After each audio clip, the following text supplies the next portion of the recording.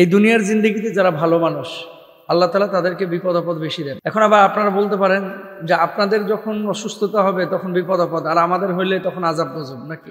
এখন brain stroke করেছে, এটা কেন আল্লাহ করাইছে সেটা আল্লাহ তালা ভালো জানেন। যে মানুষটা পঞ্চাশ বছরেরও বেশি কোরআনের ময়দানে কথা বলতেছে, সেই মানুষটা আর যাই হোক, আমরা আশাবাদী যে আল্লাহ সুবাহানুভতালা পরীক্ষা করতে পারেন, তার গুনাহ মাফ করতে পারেন। সম্প্রতি আপনি দেখেছেন মাওলানা ডক্টর লুৎফুর রহমান সাহেব, তিনি অসুস্থ। আমার প্রশ্ন, সাতান্ন বছর যে মানুষটি কোরআনের ময়দানে কথা বললেন, সে মানুষটি এত অসুস্থ, তো আল্লাহ তালা এমন ভালো মানুষদেরকে কেন অসুস্থতা দেন? এবং আপনারা দেখেছেন যে হসপিটালে হুজুর সাহিত্য ব্রেন স্ট্রোক করে। তো এই ভালো মানুষগুলোকে আল্লাহ বিপদ আপদ কেন দেন? আল্লাহ তো এমনি তাকে নিয়ে যেতে পারতেন। আল্লাহ তো এমনি মত দিতে পারেন। খুব ইম্পর্ট্যান্ট একটি বিষয়। প্রথমত হুজুরের জন্য আমরা আন্তরিকভাবে দোয়া করছি এবং আপনারা সোশ্যাল মাধ্যমে বিভিন্ন পত্রপত্রিকায় দেখেছেন যে হুজুর অসুস্থ। আল্লাহ তালা হুজুরকে শিফায় কামিলায় আজিলা দান করুক।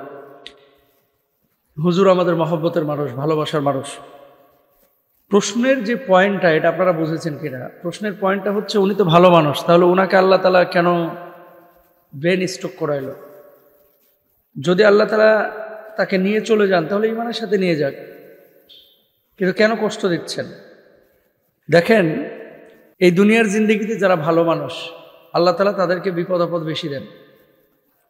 এখন আবার আপনারা বলতে পারেন যে আপনাদের যখন অসুস্থতা হবে তখন বিপদ আপদ, আর আমাদের হইলে তখন আজাব গজব নাকি? আস্তাফিরুল্লাহ আল্লাহ মাফ করুক। কাকে আল্লাহ তালা বিপদ আপদ দিবেন, কাকে আজাব গজব দিবেন, কাকে পরীক্ষা করবেন? এটা আল্লাহ ছাড়া আল্লাহ ছাড়া কেউ ভালো জানেন না।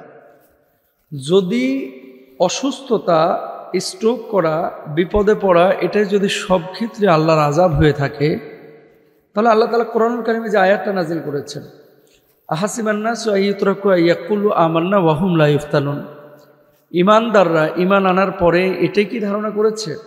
মানুষকে এটা মনে করে? আহাসিবান্নাস আইয়ুতরক তাকে ছাড়ে দেওয়া হবে।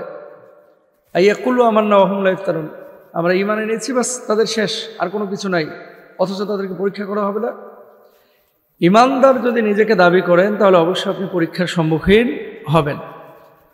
মৃত্যুর আগে কিছু কিছু সময় কিছু কিছু মানুষকে আল্লাহ সুবাহানুভতালা সেটা আমাকেও হতে পারে, আপনাকেও হতে পারে, যারা আল্লাহকে বিশ্বাস করি তাদেরকে হতে পারে।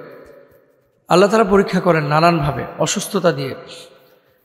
এই পরীক্ষাগুলো ওভারকাম করা এই পরীক্ষাগুলোর মধ্যে যারা পড়েছে, আল্লাহ তালা ওই মানুষগুলোকে আসলে নিট অ্যান্ড ক্লিন অর্থাৎ তার জীবনের অতীতের ছোটোখাটো গুণা সাধারণ মানুষ তার নবী আম্বি আলহিম সাল্লাতুসাল্লামের মতো নিষ্পাপ না। এই বিপদ আপদগুলো দিয়ে আল্লাহ তালা তার গুনাহ খাতাগুলি মাফ করে তারপরে কবরে নেন। এখন ব্রেন স্ট্রোক করেছে, এটা কেন আল্লাহ করাইছে সেটা আল্লাহ তালা ভালো জানেন। তবে যে মানুষটা পঞ্চাশ বছরেরও বেশি কোরআনের ময়দানে কথা বলতেছে সেই মানুষটা আর যাই হোক, আমরা আশাবাদী যে আল্লাহ সুবাহানুভতালা পরীক্ষা করতে পারেন, তার গুনাহ মাফ করতে পারেন। কিন্তু আল্লাহ তালা বেইমানদের মতো আজাব গজব দিয়ে হুজুরকে কষ্ট দিচ্ছেন বিষয়টা এরকম হয়তো বা না। তারপর আল্লাহ আলাম।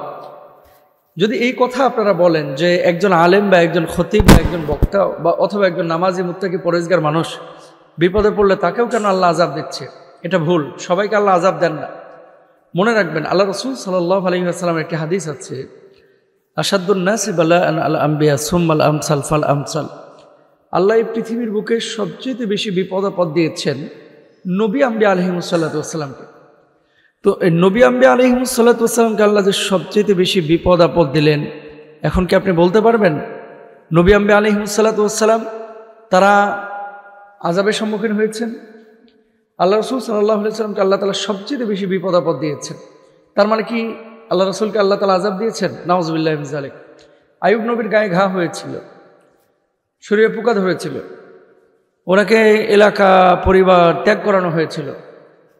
তার মানে কি? আয়ুব নবীর উপর আল্লাহ অসন্তুষ্ট ছিলেন। মোমেনদেরকে আল্লাহ সুহানা হওয়া তালা এমন এমন কঠিন কঠিন পরীক্ষা আল্লাহ তালা নিয়ে থাকেন, যেই মোমেনকে আল্লাহ তালা আরও বেশি খাঁটি মোমেনে পরিণত করেন।